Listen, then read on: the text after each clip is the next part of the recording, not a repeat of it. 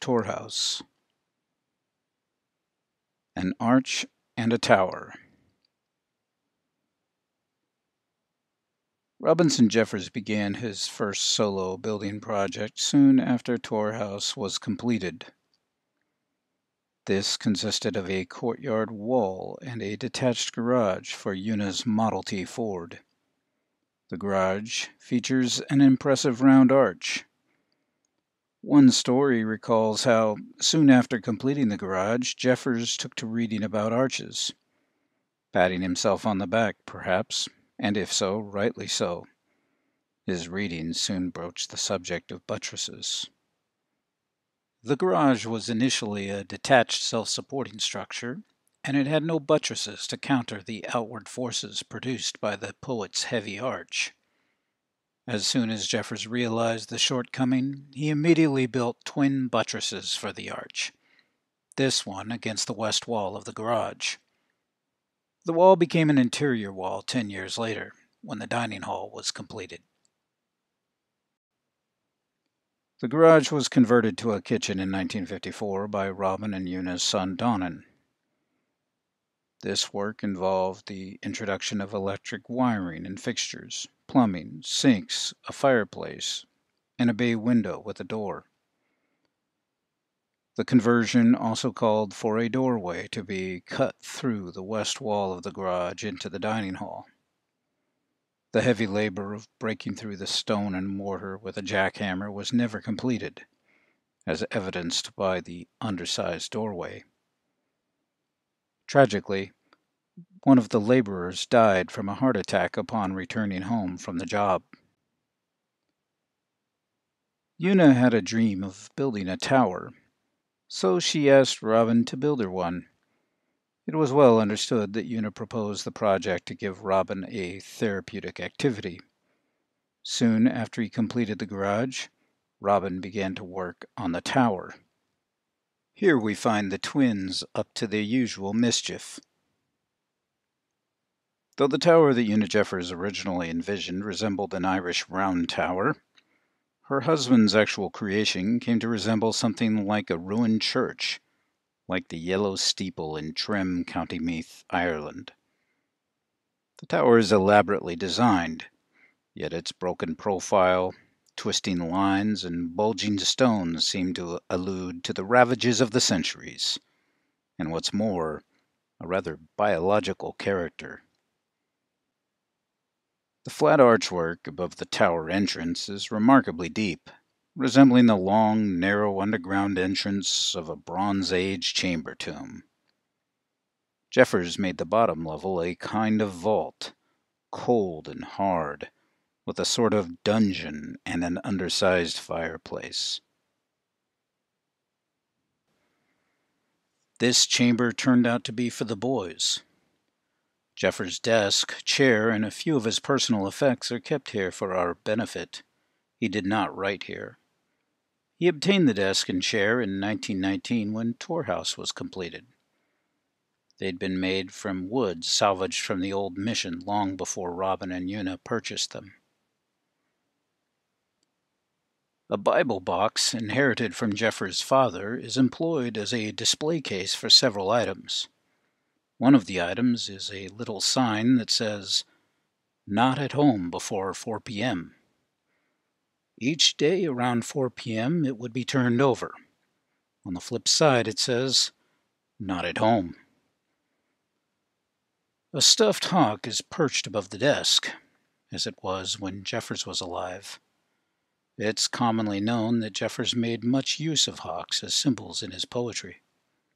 For him, the hawk represented a fierce, focused consciousness that he saw as superior to the cavernously solipsistic, incestuous mentality of the human species. But Jeffers' depictions of hawks were not idyllic, for hawks could be wounded, caged, or even crucified in his reflections on human nature.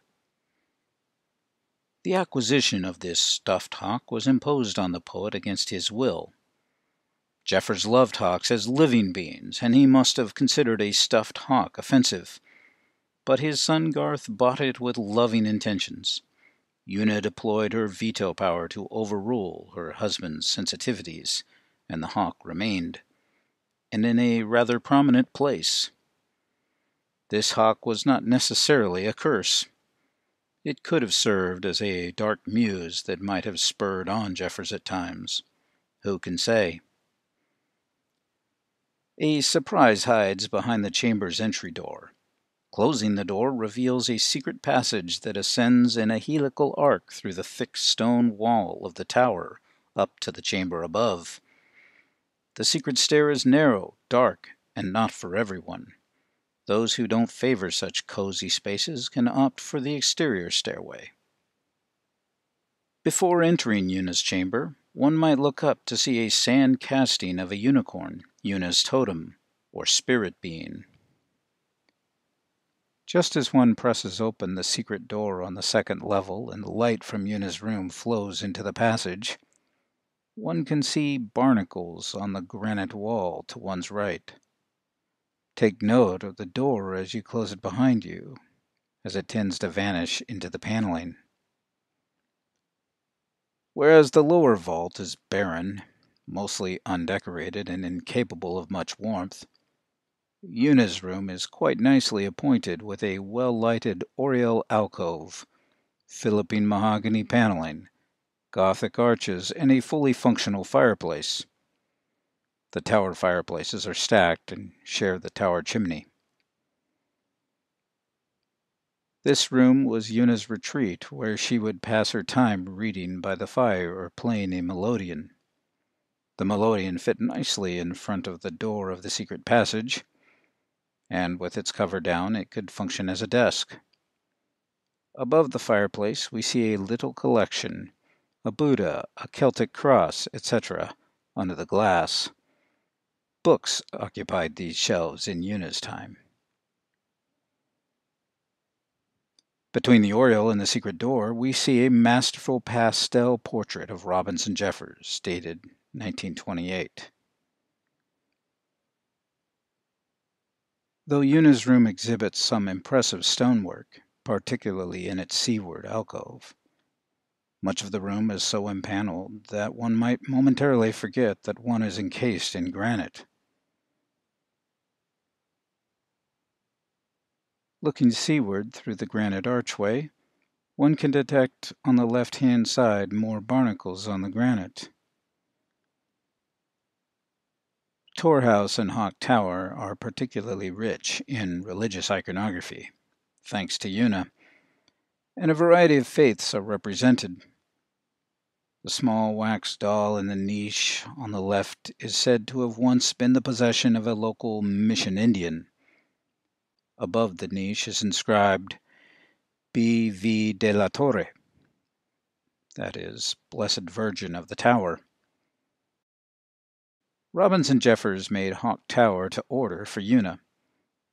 But he did not call it Una's Tower or Unicorn Tower.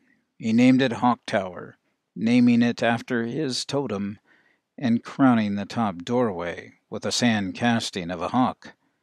He also called the tower, quote, My Tower, quote, in one of his more notable poems. The white marble plaque embedded in the west wall of the turret platform is carved with a Latin inscription that translates into something like this RJ made me this hawk tower with his own hands, 1924.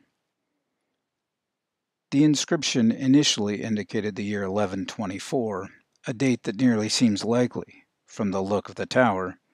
After the quick insertion of an undersized M, however, it has read 1924 ever since. In a sense, Hawk Tower served as three towers. For the boys, it was a fort, a workshop, and a refuge for the imagination. For Una, the tower was a warm, cozy, and private getaway to share with music or a book.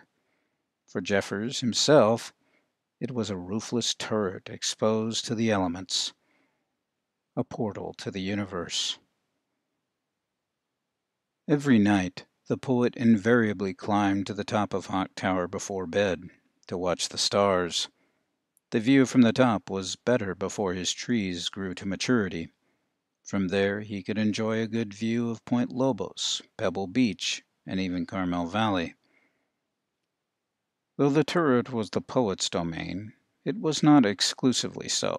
His twin sons also employed it on occasion, as his son Garth recounts, quote, From somewhere we obtained an outfit of mechanic's overalls and stuffed it with rags.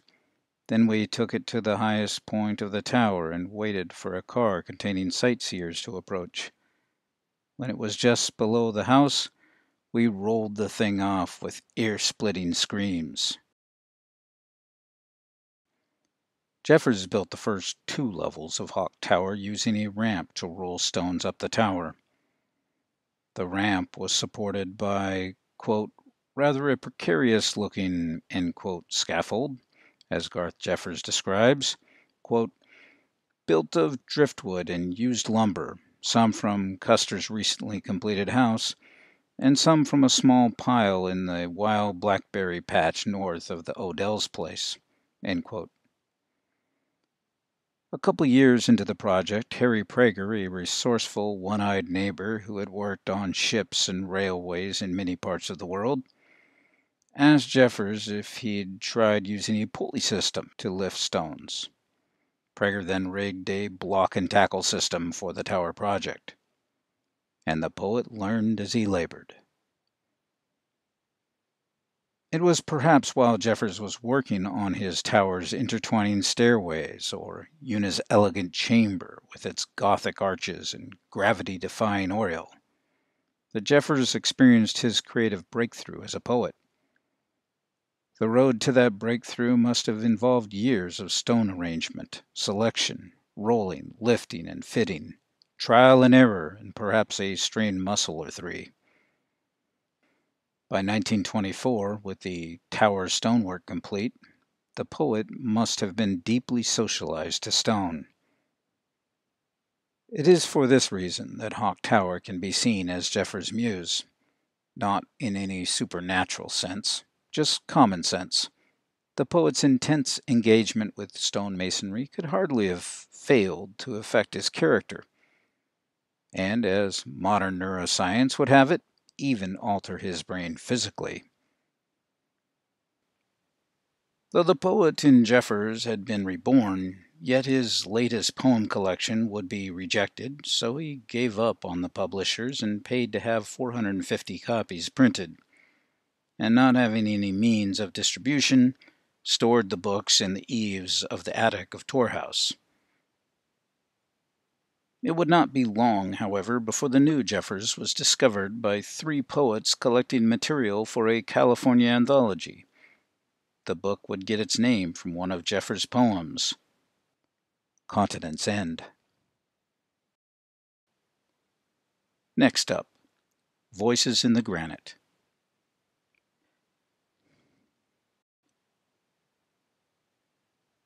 Schedule a tour of Tor House at torhouse.org. This independent presentation was produced in support of the Robinson Jeffers Tor House Foundation. The views expressed herein are not necessarily those of the Foundation. Your support for Tor House is appreciated.